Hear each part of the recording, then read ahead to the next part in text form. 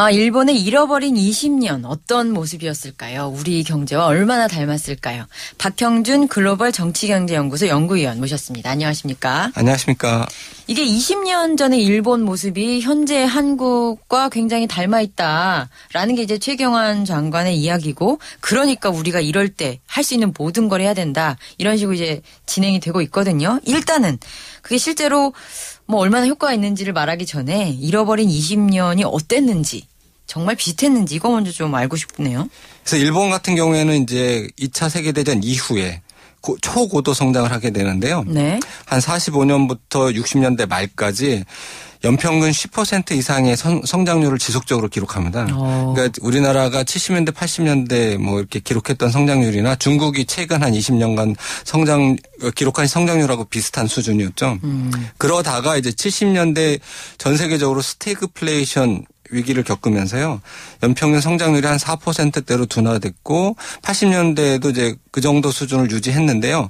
이게 그 이전하고 비교해서 많이 둔화됐지만 일본 이제 선진국이지 않습니까? 네. 선진국에서 이제 44%대 그 성장률을 기록하는 건 굉장히 상대적으로 높은 편이었고요. 음. 그래서 이제 80년대 나이 드신 분들은 아직 뭐 기억하실 텐데요.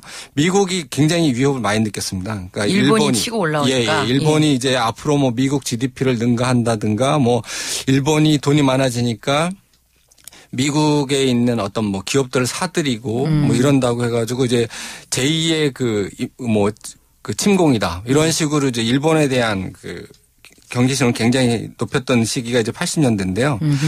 이때 이제 어느 정도였냐면 86년에서 90년대에 그 워낙 경제 대국으로서의 어떤 성장 전망이 강해가지고요. 니케이 지수 같은 경우에서는 그 전에 한 만 정도 지수가 됐었는데 음. 그 4년 사이에 3만 8천으로 급등합니다. 아하. 거의 그 4배 수준 가까이 된 거죠. 니케이 지수라고 하면 이제 증시 같은 거죠. 예, 예. 네. 일본 그, 지, 그 정시를 대표하는 이제 니케이 지수가 있는데 그게 이제 거의 4배 가까이 그. 급등하게 되고요. 부동산 경기도 이제 초호황을 누려가지고 그 사이에 같은 기간에 이제 가격 지수가 부동산 가격 지수가 3배 정도 아하. 급등합니다. 네. 그러다 그렇게 잘 나가던 일본이 갑자기 예. 예. 근데 이제 이렇게 잘 나가던 일본이 1991년 돼서 갑자기 그 부동산 거품이 붕괴하면서요. 동시에 이제 니케이 지수도 폭락하게 되는데 이후 한 3년에서 5년 사이에 그 올랐던 걸 다 이제 까먹게 됩니다. 음. 그래서 니케이 지수 같은 경우에 다시 이제 8천선까지 후퇴했고요. 그 부동산도 이제 한 5년에 걸쳐 가지고 그 이전 상승하기 이전 수준으로 이제 폭락을 음. 하게 되죠. 네. 그리고 이제 경제 성장률 같은 경우에도 90년대 연평균 한 1.5%, 아하. 2000년대는 연평균 0.5%. 음. 그래서 지난 20년 평균이 한 1% 정도의 아주 저성장을 음. 기록하게 되고, 됐고요. 물가 같은 경우에도 이제 90년대 1.2%, 2 2000년대는 마이너스 0.25%로 음. 이두 가지가 이제 저성장의 저물가 해가지고 이제 그 장기 디플레이션 현상을 이제 보였죠. 그래서 아하. 굉장히 전형적인 그 장기 불황. 그래서 뭐 그 2008년 이후에 뭐 세계 경제가 뭐 L형으로 가느니 막 이런 얘기가 나왔었는데 이게 바로 이제 일본을 두고 한 이야기입니다. 그러니까 계속해서 저성장의 저물가. 음흠. 그 지금 퍼센테이지로 하- 들어서 잘 모르시는 느껴지지 않은 분들도 계실 텐데요. 최근에 우리나라가 물가 성장률을 3.7%로 했죠. 예, 근데 예. 그거 가지고도 굉장히 낮다라고 이제 정부가 받아들이고 예. 뭐 노동계, 재계 모두 이제 그, 그 수치를 신경을 썼어요. 그런데 당시 90년대 일본 연평균 성장률이 1.5라는 게 어느 정도인지 이제 느낌이 오실 것 같습니다. 그렇다면 아까 부동산 거품이 91 년에 터지면서 이제 본격적인 이제 침체가 시작됐다고 볼 수 있을 것 같은데 예, 예. 그렇다면 그렇게 된 이유 는 어떻게 보면 될까요? 그러니까 잃어버린 20년에 대해서 그동안 이제 처음엔 이제 잃어버린 10년으로 이제 이야기를 많이 했었거든요. 아. 10년이 예, 10년 지난 시점에서 이제 음. 좀 회복하지 않겠는가 그래가지고 이제 실질적으로 2000년대 중반에 약간 회복세를 보이기도 했었거든요. 네. 그런데 이제 다시 2007, 8년 미국에서 이제 금융위기가 심화되면서 다시 또 침체해가지고요. 결국 이제 이- 잃어버린 20년이 됐는데요. 네. 이 원인에 대해서 이제 단기적인 원인하고 좀 장기적인 원인을 구분해서 봐야 될 것 같습니다. 그러니까 단기 원인 같은 경우에는 아까 말씀드렸던 그러니까 그 전형적인 붐앤 버스트라고 하죠. 그러니까 거품, 투기 거품이 생기고 거품이 꺼지면서 그 충격의 여파로서 이제 경제가 침체하고 이런 이제 2008년 이후에 우리가 그 세계적으로 그 지금 목도하고 있는 이 현상으로 이제 볼 수 있는데 네. 근데 이게 이제 몇 년 지나면은 성 다시 회복을 했어야 되는데 이제 네. 못하고 장기적인 침체에 빠진 거죠. 그래서 이 원인을 단, 단지 투기의 문제, 그러니까 투기 거품이 생겼다 꺼진 이 문제가 아니라 장기적인 어떤 산업이라든지 경제 구조적 문제로 이걸 파악해야 될 것 같습니다. 그래서 단기적인 문제는 투기 거품과 거품 붕괴 때문이었다면 장기적인 것은 어떤 산업 구조적인 문제로 예, 봐야 된다. 예, 예. 아, 예.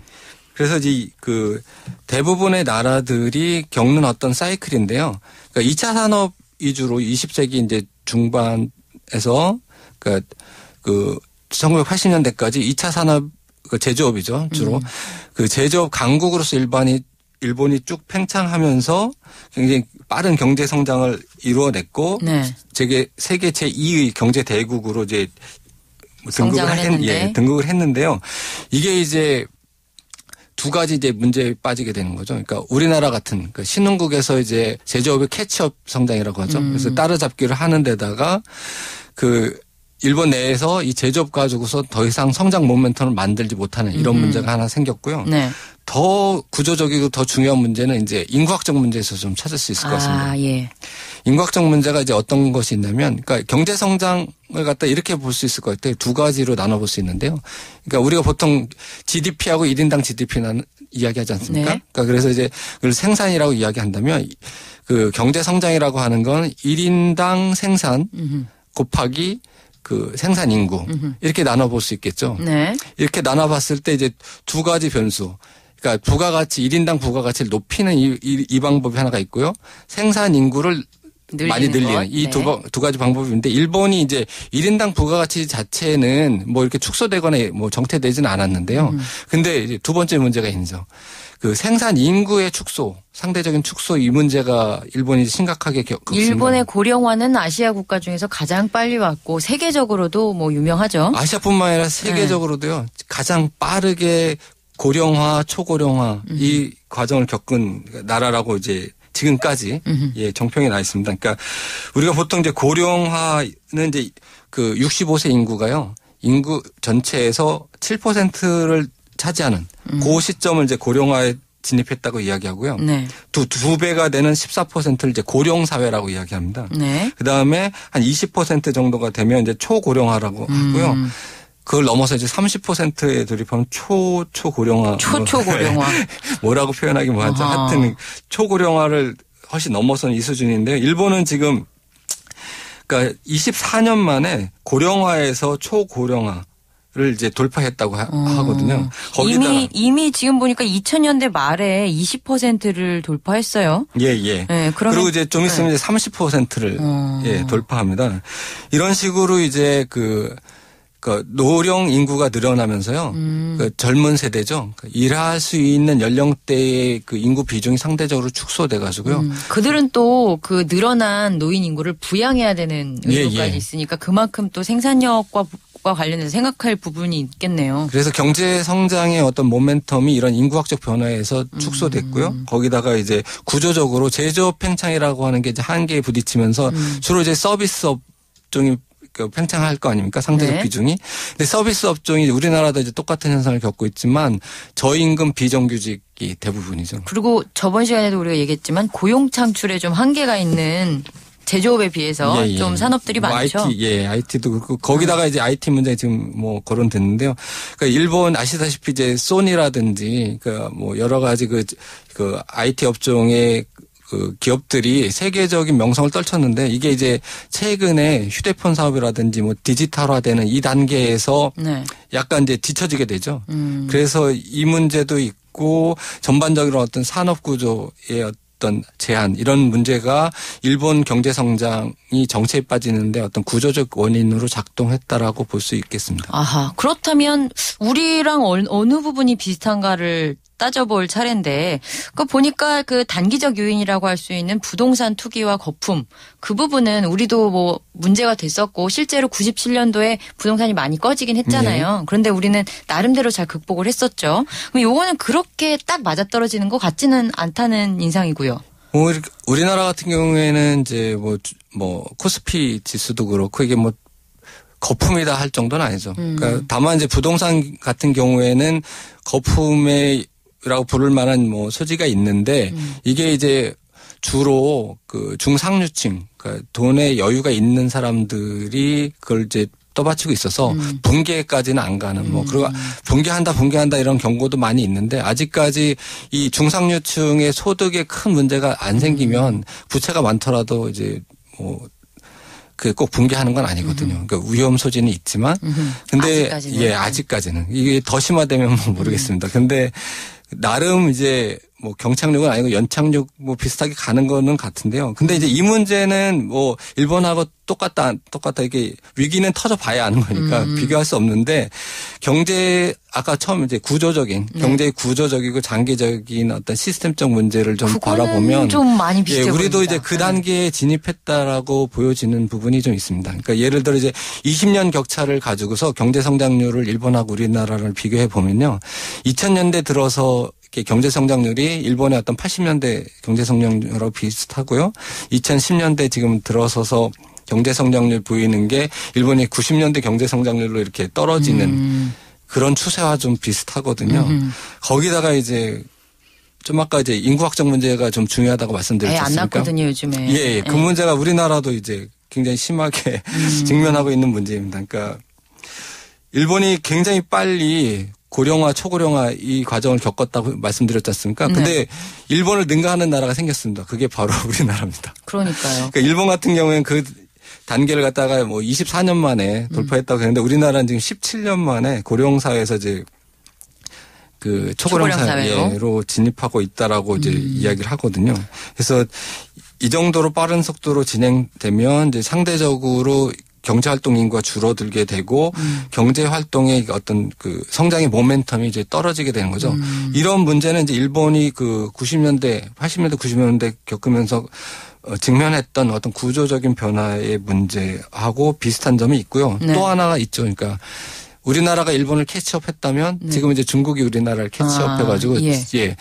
그 인프라 성장이라든지 제조업 가지고서 이렇게 팽창하던 그런 그 성장 모멘트 거기서 찾던 시기는 지났다라고 하는 음흠. 그것도 이제 비슷한 게 점이죠. 그러니까 일본하고. 아, 그럼 정말 그런데 지금 보니까 일본이 그래 일본의 잃어버린 20년이 우리가 맞게 될 최악의 경우 우리가 맞게 될 네. 잃어버릴 10년 또는 20년 보다 그래도 좀 낫다라고 보여지는 점이 그래도 일본은 내수 시장 예, 예. 인구도 그렇습니다. 많고 일단 내수 예, 시장 예. 좋고 그다음에 아까 생산 력이라고 얘기할 수 있는 어떤 1인당 부가가치를 낼 수 있는 어떤 능력 같은 거 예. 일종의 노동의 질이라고 할 수 있을 텐데 그런 것도 우리보다 좀 뛰어났잖아요. 그렇죠. 그 두 가지 부분이 중요할 것 같은데요. 지금 말씀하신 것처럼 일본은 이제 수출 이걸 뭐 무역 흑자 이런 걸로 굉장히 옛날에 유명했는데요. 네. 근데 규모가 워낙 커서 그런 거지 상대적 그 경제에서 상대적 비중을 보면요. 우리나라만큼 무역 의존도가 크지 않은 나라입니다. 음. 그래서 무역 의존도 이야기하면 이제 수출과 수, 수입의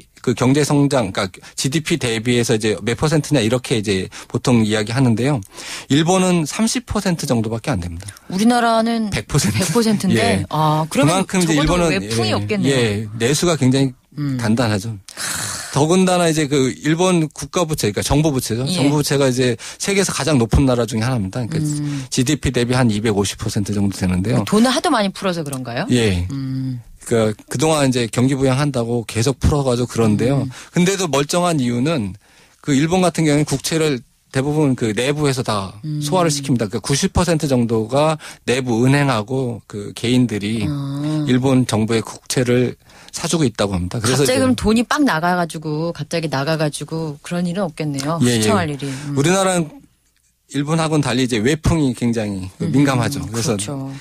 일본보다 우리가 만약에 이런 일본 같은 구조적인 문제에 빠진다면 일본보다 더 취약할 수 있는 그런 네, 지점이라고 생각이 듭니다. 음흠.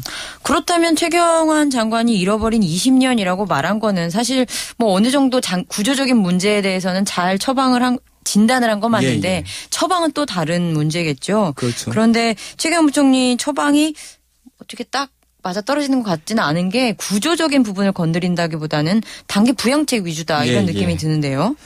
뭐 전반적인 진단 지금 말씀하신 것처럼 음. 그러니까 잃어버린 20년을 답습하지 않겠다 이야기하고 내수 확대, 뭐 민생 안정, 경제 혁신 이런 큰 틀의 이야기들은 맞는데요. 근데 실질적인 처방을 보면 그 장기적인 비전을 가지고 구조 개혁을 해낸다라고 하는 것보다는 음. 당장에 올해 떨어질 것 같은 GDP 성장률을 음. 그러니까 투입 투자 투입을 해가지고요 올려보겠다. 그래서 음. 원래 한 3.9%에서 뭐 4.1% 정도 예상을 했는데 그게 3.5%까지 내려갈 것 같으니까 음. 정부가 돈을 쓰면 올라 가거든요. 음. 그러니까 GDP라고 하는 것 자체가 돈을 쓰면 올라가게 돼 있습니다. 그렇죠. 예, 음. 그래서 지금 내린 처방을 보면 구조적인 변화보다는 내려갈 것 같은 부분을 좀 메꿔주겠다. 이거에 좀 가깝고요. 예.